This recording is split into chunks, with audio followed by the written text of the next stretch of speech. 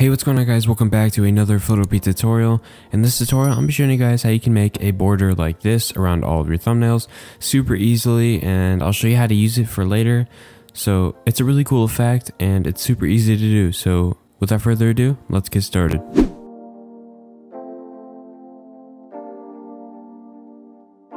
Okay, so I'm going to be showing you guys two methods you can use. The first method is going to be the most efficient and it's going to be a really easy way to do it. And the second method is another way to do it. It's a little less efficient, but you end up with the same results um, depending on how good you are at it. And so we're going to start out with method one, which is the easiest way. Just go over here to your rectangle tool on the bottom left. Go up here to fill and make sure you click this X. What it's going to do is make the inside of the rectangle transparent so you will not see it and we're going to add a stroke. And this stroke is going to be white because you'll see in a second why. And now what you want to do is just go to the top left of your image hold left click and drag it all the way to the bottom right. It should lock onto the bottom right which will help you out a lot. And you can see we have the border now. Yours is probably going to look like this.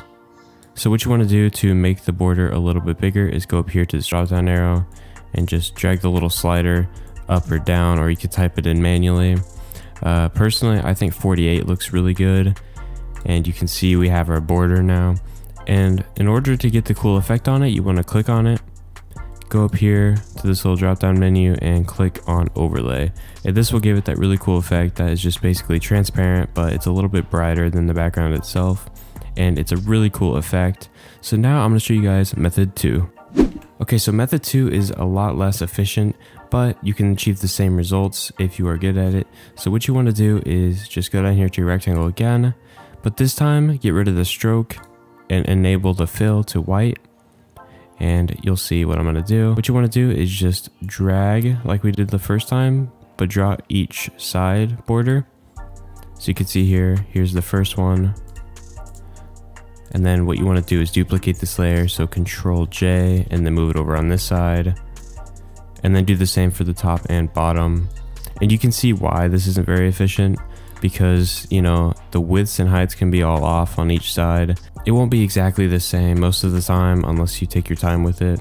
But you can see here, we made the border and now what you want to do is just hold control and click all those shape layers and then right click and click merge layers. That'll make it one whole layer.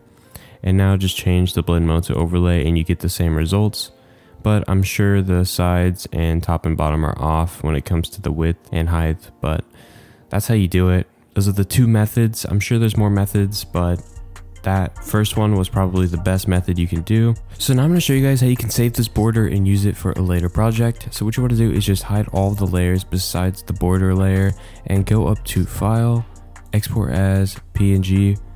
Make sure to turn the quality up to 100 and also PNG is essential. It will not work with JPEG or anything like that. So make sure you do PNG and hit save. So now if we remove the border, unhide the background layer, we can drag in our border. So here it is, just change the blend mode to overlay and you got it. So it makes it a lot more time efficient. I hope you guys enjoyed this video. If you did, leave a like and subscribe. It really helps me a lot. And I'll see you guys in the next video. Peace.